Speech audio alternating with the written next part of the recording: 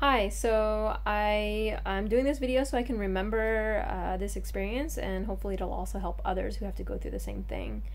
Um, so first of all, I tore my ACL by playing soccer. I play on the weekends and one day I was just running during a game. I planted my leg wrong and I felt my knee pop out and pop back in and just heard popping and as soon as I went down, I grabbed my face and just said, I'm, this is going to put me out for a year.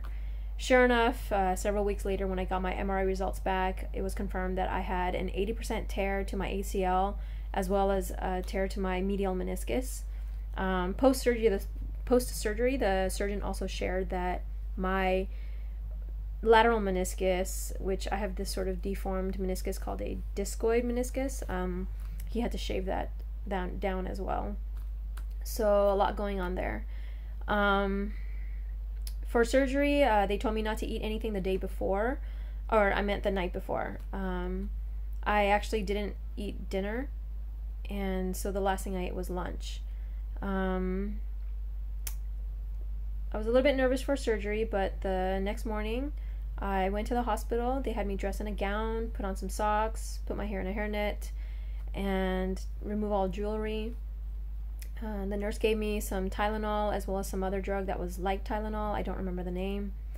They uh, placed the IV and then uh, injected some sort of calming drug. Again, not sure of the name. Uh, then they immediately wheeled me into the operating room.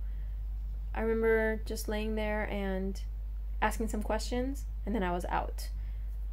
Uh, after surgery, I woke up pretty quickly. I was quite groggy uh, and in pain.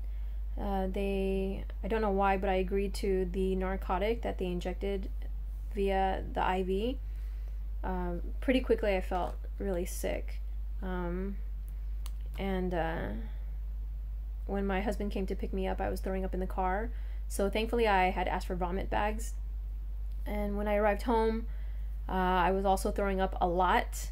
Um, I was actually kind of surprised how much I was throwing up because I hadn't e- eaten anything um, for 24 hours at that point. Um, but I guess all those IV fluids that was pumped through my system was, you know, gave me all those fluids. Um, I lay down in bed and um, pretty much just hung out in bed for the rest of the evening. Um, pain was high. I didn't take any more pain meds. I was I, I felt more sick and just gross.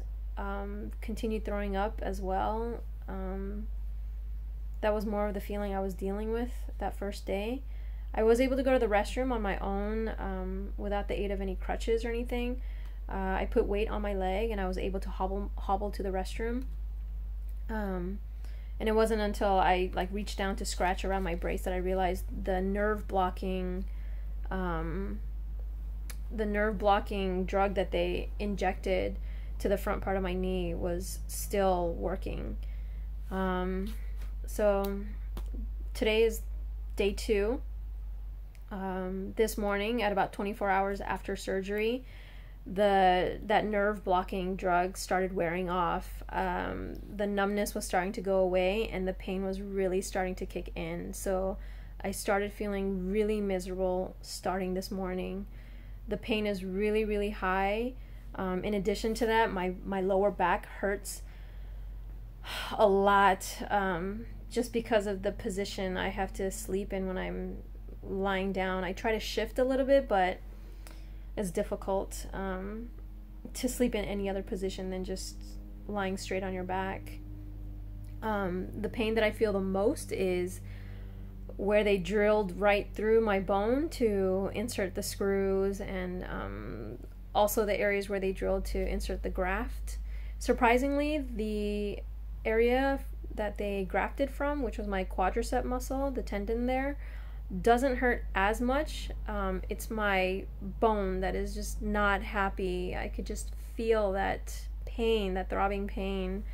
Um, I did end up taking extra strength Tylenol this morning Again, I have this huge aversion to um, narcotics. Um, I'm trying to avoid taking uh, what they prescribe me, which is Norco, which is hydrocodone and acetaminophen, and um, Zofran for to manage the nausea. Um, they also prescribed me 800 milligrams of ibuprofen, but the surgeon recommended I don't take that until next week. I don't recall the details of why, but I'm just going to go ahead and follow his recommendation from what I remember. And um, the only other thing I'm taking right now is the as- baby aspirin, uh, 81 milligrams, to help prevent blood clots. Um, so basically, I'm just taking extra strength Tylenol. I'm due to take um, another dose really soon.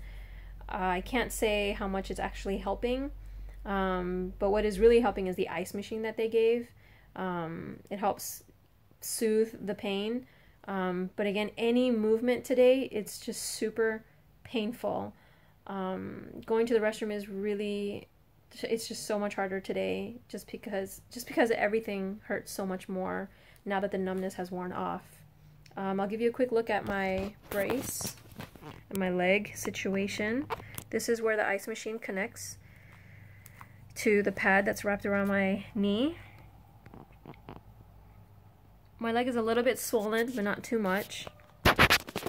Um, and uh, I don't know. Uh, I think I can tough out this next uh, day and, and tomorrow. My friends who have had ACL surgery have shared that the first several days, the first couple days, um, are the hardest, and I feel like I'm writing out the, the toughest part. I don't know why I'm trying to do it this way, but I feel like I can. Um, as someone who gave birth, natural birth twice without pain meds, um, because that's how I wanted to give birth, um, I feel like I can maybe tough out the pain with this as well. I don't know. Um, we'll see how I hold up tomorrow. But um, it's been, uh, yeah, a day and a half, and uh, I'll check in again. Hopefully, I have time to make another video. I've got a toddler running around who wants my attention, and so things have been a little bit difficult, but manageable. Thanks.